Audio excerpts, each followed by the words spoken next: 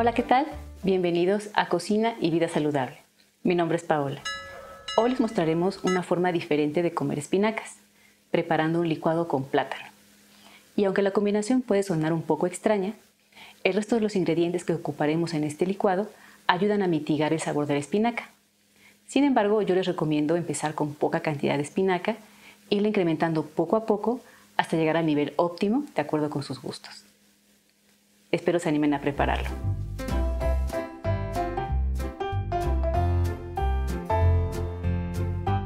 Ocuparemos una taza de leche, hojas de espinaca al gusto, un plátano, dos cucharadas de cacao en polvo sin azúcar y una cucharadita de vainilla.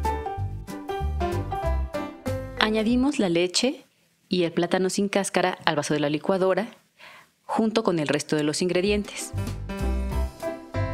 El plátano es rico en potasio y es una fuente de fibra, vitamina C y B6. Licuamos los ingredientes hasta obtener una mezcla homogénea.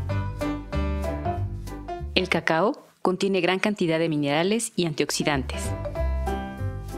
Las espinacas aportan folatos, vitaminas A y C. Y esta es la consistencia de nuestro licuado de plátano y espinacas. Y lo mejor es que está aprobado y aprobado por los paladares más exigentes. Recuerda que diferentes colores de alimentos nos proveerán una diversidad de nutrientes. Esperamos que hayan disfrutado esta receta. Los invitamos a que se suscriban a este canal, nos regalen un like y compartan este video.